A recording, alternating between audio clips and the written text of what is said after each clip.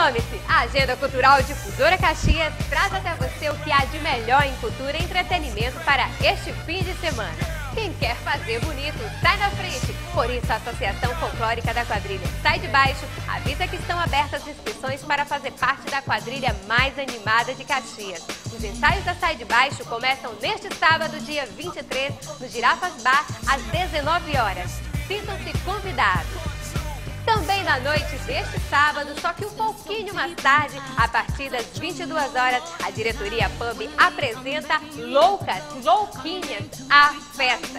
Evento que promete reunir muita gente bonita com direito ao show da dupla Lucas e Rômulo. E os DJs Judenu e Valadares comandam os picapes com um repertório que não deixa ninguém ficar parado. E o grupo Baião União Genésio e Alcino vai estar tocando no povoado Subiante, primeiro distrito de Caxias, neste sábado, dia 23 de fevereiro.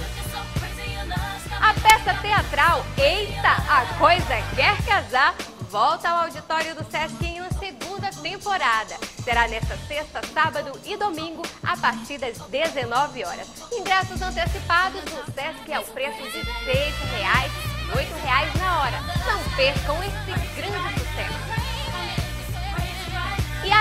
produtores culturais e promotores. A Agenda Cultural divulgará o seu evento totalmente grátis. Basta enviar as informações até quarta-feira para o seguinte endereço que aparece aqui no seu vídeo. agendaculturalpontodefusoracaxias.com Mas só vale pelo e-mail, hein? A Agenda Cultural volta na próxima sexta-feira.